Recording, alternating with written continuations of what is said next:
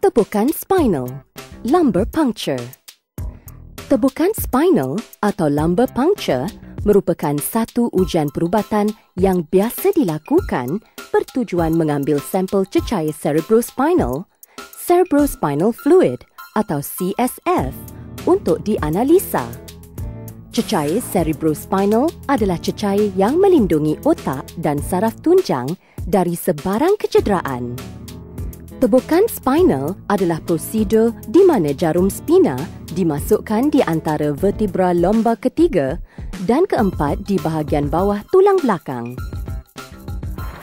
Semasa prosedur tebukan spinal, pesakit akan baring mengiring ke kiri dengan lutut dirapatkan ke dada atau duduk membongkok.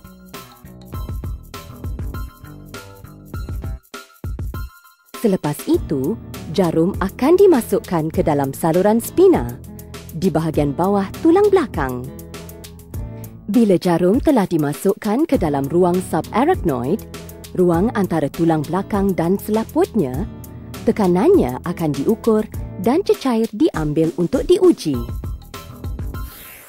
Tebukan spinal juga dilakukan untuk mencocok anestetik spina, ubat kemoterapi atau lain-lain ubatan. Maklumat yang dikumpul dari tebukan spinal boleh membantu dalam membuat diagnosa jangkitan kuman, fungus dan virus yang serius termasuk meningitis, encephalitis dan siflis. Kanser yang melibatkan otak dan tulang belakang.